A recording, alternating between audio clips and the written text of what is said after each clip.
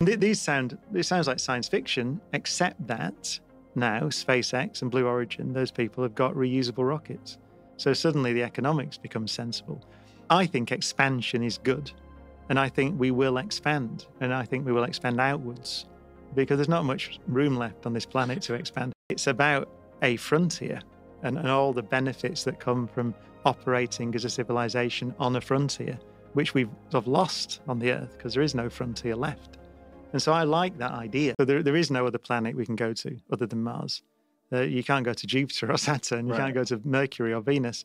So if we want to go somewhere and expand our civilization, it has to be Mars. And everything's there that you need. It's interesting actually because we, we know something about the history of Mars now, quite a lot about the history of Mars.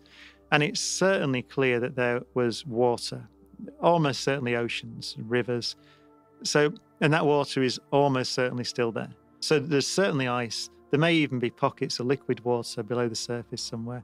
So uh, um, couple that with all the, the minerals and the resources that we know are there, and you have everything you need. So that's the thing about Mars. It's, it's quite nice relative to everywhere else other than the Earth. You, you can't go to Venus, right? right. You, you just melt. It's what is it, 400 and something degrees and uh, 90 atmospheric pressure. So, so Mars is quite nice